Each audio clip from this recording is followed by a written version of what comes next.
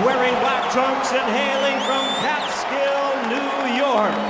His weight already 233 pounds. His record 50 wins, 5 losses, 2 no contests, with 44 big wins coming by way of knockout.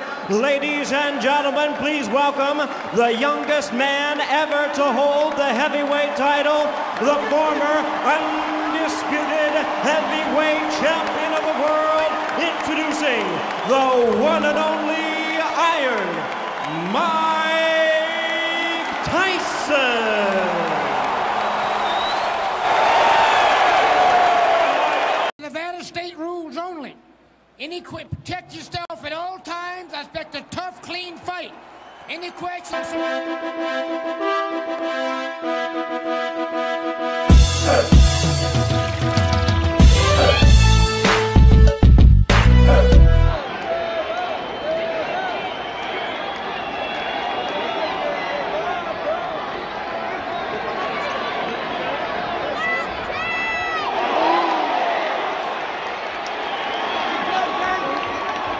I said.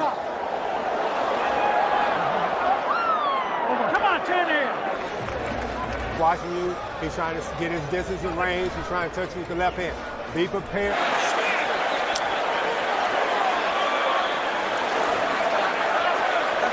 Ya, Jack Paul dan Mike Tyson akan bertarung di atas ring dan membuktikan kehebatannya masing-masing. Pertarungan tinju antara youtuber kondang dan mantan juara dunia kelas berat tersebut tak terbantahkan akan menjadi tontonan yang menarik di dunia tinju.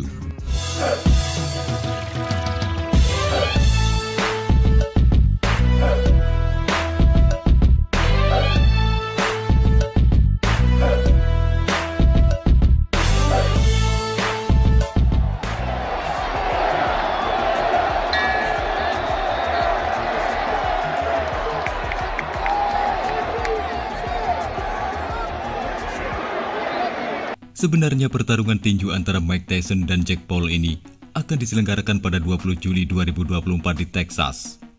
Namun kabar mengejutkan ini datang hanya kurang dari sepekan setelah Aaron Mack ini mengalami masalah lambung setelah melakukan perjalanan penerbangan dari Miami ke Los Angeles. Namun kendati demikian, Jack Paul ini masih berharap Mike Tyson mau mewujudkan laga bersejarah yang menjadi magnet bagi pecinta olahraga tinju di dunia. Taker and undefeated fighter, introducing the problem child, Jay.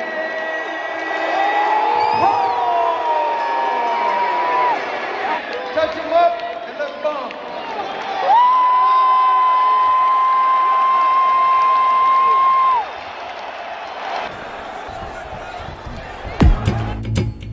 Dan perlu diketahui bahwa Jack Paul ini baru saja sukses menaklukkan Mike Perry dalam pertarungan kelas penjelajah di Amelia pada 20 Juli 2024. Petinju yang juga sekaligus YouTuber tersebut mengalahkan Mike Perry dengan kemenangan TKO pada ronde ke-6. Asia almost exactly 18 years ago, July 26th of 1986. Ya, Jack Paul benar-benar menjadi petinju yang penuh sensasi dan kerap menantang nama-nama besar. Ya, kemenangan Jack Paul menang TKO atas Mike Perry dan mengancam Mike Tyson menjadi korban selanjutnya. Ya, bukan Mike Tyson namanya, hanya berdiam diri ketika harga dirinya diinjak-injak. Legenda tinju kelas berat tersebut membalas komentar Jack Paul melalui akun media sosialnya.